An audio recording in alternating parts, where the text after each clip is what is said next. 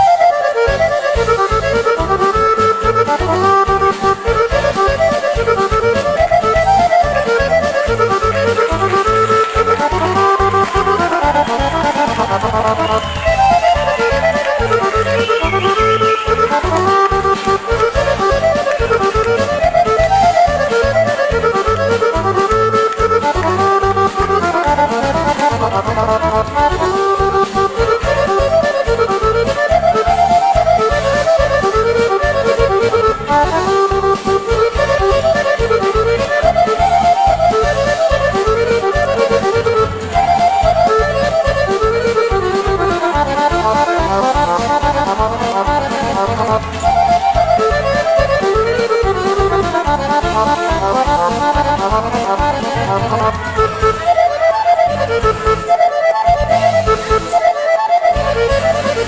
you.